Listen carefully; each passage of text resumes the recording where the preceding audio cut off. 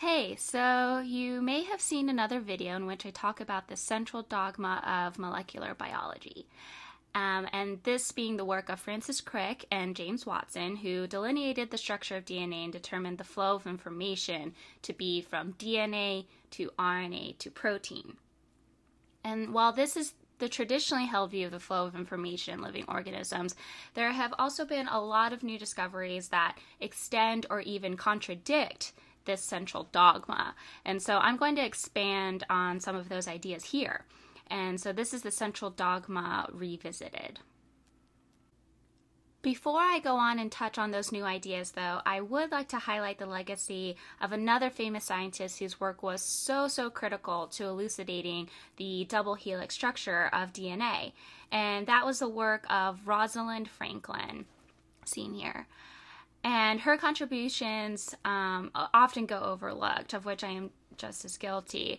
Um, and Franklin's work on the X ray diffraction images of DNA and her interpretation of that data were key to confirming the helical structure of DNA. And so, when, whenever there's a mention of Watson and Crick, Rosalind Franklin deserves a shout out as well. So, now on to the conflicting versions of the central dogma of molecular biology. As I said before, the traditionally held view of the central dogma is that the flow of information occurs from DNA to RNA to protein.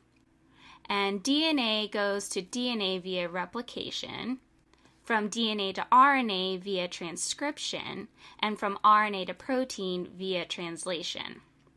And basically, proteins perform virtually all the tasks within living cells and make up the very structure of those cells.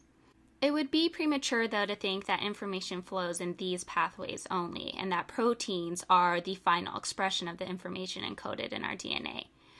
So now that we have a firm foundation, what the central dogma was as it as it was conceived originally, we can explore some of the newer discoveries that have been made that expand on this concept. And the first idea is that of reverse transcription in which information flows backward, if you will, from RNA to DNA. And reverse transcriptase is an enzyme that generates complementary DNA or cDNA from an RNA template. And reverse transcriptase is needed for the replication of retroviruses, including HIV, is probably the most well known one. And these retroviruses use the enzyme to reverse transcribe their RNA genomes back into DNA, which is then integrated into the host genome and replicated along with it. So, this is the first um, idea was discovered back in 1970 um, that violated the central dogma it was very unpopular at first, um, saying that information can actually flow from RNA back to DNA. Now, another example of an alternate pathway for information flow is demonstrated by a group of viruses called RNA viruses. Now, these viruses have their genetic material stored as RNA as opposed to DNA, and they can have their genome directly used by host cell replication machinery as if it were messenger RNA, and, and then translated directly into protein or they can have their RNA serve as a template for another RNA strand that is then used for protein translation. Some well known examples of RNA viruses are the coronavirus, which was responsible for the SARS epidemic, um, the influenza virus, responsible for the flu um, that you have to get a shot for every year, and um, also paramyxovirus, which is the virus responsible for measles.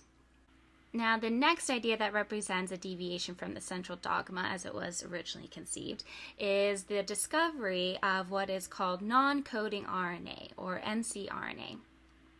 A non coding RNA is a functional RNA molecule that skips this last step of being translated into a protein and can directly perform functions within the cell as an RNA molecule. Now, two examples of functional RNA molecules that you uh, might be familiar with are transfer RNAs and also ribosomal RNA, both of which are used for the translation of messenger RNAs into proteins. Now, a final consideration um, that I'll be bringing up that sort of expands on the central dogma um, is the field of epigenetics, which is the study of heritable changes in gene activity that are not caused by changes in DNA sequence. So, unlike in simple genetics, where changes um, in phenotype are based on changes in genotype, epigenetics describes the mechanism where the same DNA sequence can be modified, and resulting in a different phenotype without changes to the underlying DNA sequence. Now, some examples of mechanisms that produce such changes are DNA methylation um, and also histone modification. And this can help explain why um, you can have the same DNA in each of the cells of your own body, but those cells don't necessarily look or behave the exact same way. For example, the DNA contained in the nucleus of, say, one of your muscle cells is the same DNA that's contained in one of your, your skin cells, the same DNA in the nucleus of those cells, but these two cells are different because the expression of that DNA is modified by these epigenetic mechanisms. And these epigenetic mechanisms allow the transcription of only certain genes within the genome, depending on the type of cell.